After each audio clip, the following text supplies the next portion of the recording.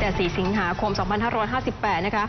คุณโชสวัสดิ์อัศวะเหมค่ะ อดีตนายกอบจสมุทรปราการ ก็ถูกจำคุกนะคะในฐานะที่ทุจริตการเลือกตั้ง แต่ว่าตอนนี้ค่ะค่ะได้รับการพักโทษแล้วนะคะ แต่ว่าสื่อมวลชนค่ะก็ไปเฝ้ารอนะคะ ว่าจะได้พบหน้าแล้วก็พูดคุยปรากฏว่าไม่เห็นแม้แต่เงาค่ะ ซึ่งบรรยากาศที่บริเวณหน้าเรือนจำกลางจังหวัดสมุทรปราการของวันนี้ค่ะผู้สื่อข่าวก็ไปยืนรอบันทึกภาพการปล่อยตัวของนายชนสวัสดิ์อัศวะเหม อดีตนายกอบจสมุทรปราการ ผู้ต้องหาในคดีทุจริตการเลือกตั้งที่ได้รับการพักโทษ หลังถูกจำคุกมานานกว่า 1 ปี และเหลือโทษจำคุกไม่เกิน1ใน3 ถือว่าเข้าเงื่อนไขการขอพักโทษนะคะ แต่ระหว่างการพักโทษจนถึงครบวาระกำหนด ก็ต้องมารายงานกับกรมควบคุมประพฤติทุกเดือน ระหว่างนี้ห้ามมิให้ก่อเหตุ หรือว่ากระทำความผิดตามกฎหมายใด ๆ ทั้งสิ้น มิฉะนั้นจะถูกควบคุมตัวทันที ซึ่งผู้สื่อข่าวก็เฝ้ารอทำข่าวกันอยู่ที่หน้าประตูเรือนจำตั้งแต่เวลาตีสี่เลยทีเดียว จนขนาดนี้นะคะก็ยังไม่พบ